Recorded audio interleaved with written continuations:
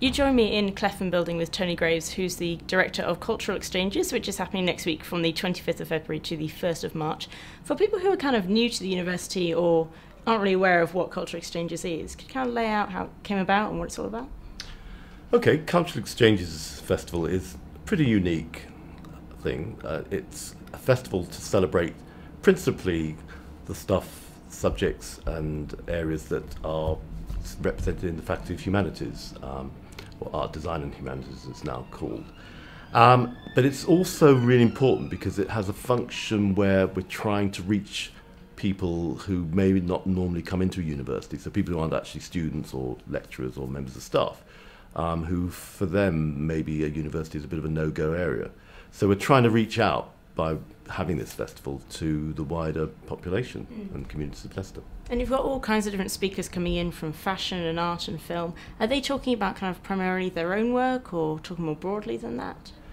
Uh, well, we make sure that it's not a narrow focus in the event, so it's got to be something that people can engage with. And so, for example, Zandra Rhodes is uh, obviously an iconic fashion designer.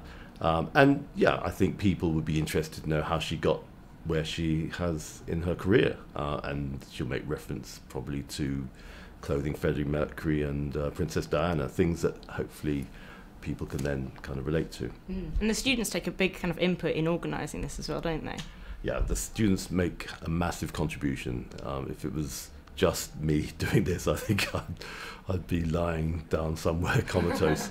so basically, our arts and festivals management students are the ones that drive this forward.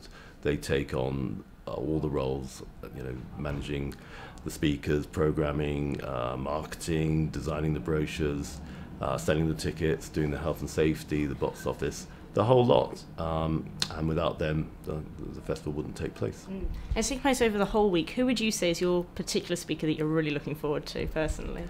There's a number of highlights. I mean, I know somebody, um, Ruth Mackenzie, uh, who was the director of the Cultural Olympiad. I know her personally, so it would be great to meet up with her again.